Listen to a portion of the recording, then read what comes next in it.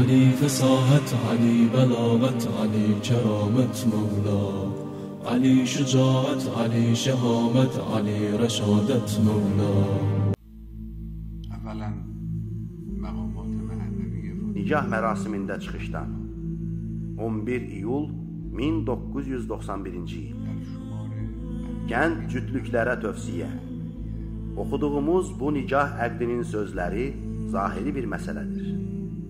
Bununla sizin aranızda bir halqa vücuda gəlir. Qız və oğlanın bütün səyi bunu qorumaq olmalıdır. Məbadə gileylər, bezikmələr, artıq istəməklər, artıq gözləntilər, sevgisizliklər və bəzən digərlərinin müdaxilələri ilə bu ocaq sarsılsın. Mühüm olan budur. Həm qız, həm oğlan çalışıb bu cütlük halqasını qorusunlar. Bu halqanı necə qoruya bilərsiniz? Əlbəttə, ağıllı, zirəng, hissiyatlı və sadiq, vicdanlı adamlar yolunu tapırlar.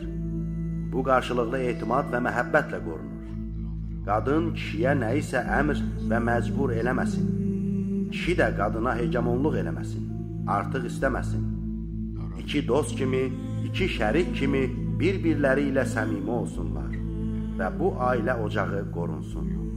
Nikah mərasimində çıxışdan 11 iyul 2001-ci il Asan izdivac İslam sürətli, asan və əlavə şərtləri olmayan izdivacı həvəsləndirir. İstər qız, istər oğlan çox boyunduruqlar olmadan cinsi meyl dövründə İslam tərəfindən ailə qurmağa dəvət olunurlar. Bu məsələnin özü bu fəsadların mühüm hissəsini azaldır. İslam nikah məsələsini asanlaşdırıb. Görürsüz, İslamın erkən çağlarında Allahın rəsulu məscidə gəlib elan edir ki, bu xüsusiyyətlərə malik olan bir qız var. Kim ona elçilik eləmək istəyir? Bir gənc qalxıb deyir ki, mən.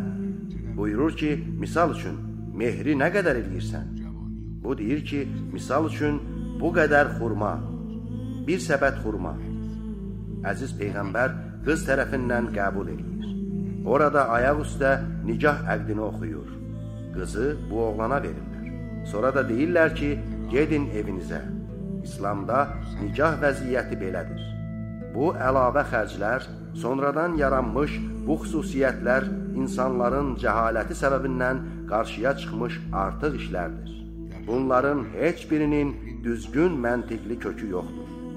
Cümə namazı xütbəsindən 9 avqust 1986-cı il Risalət qəzeti Yanlış ənənələr və izdivacda çətinlik yaratmaq Ey müsəlman ailə!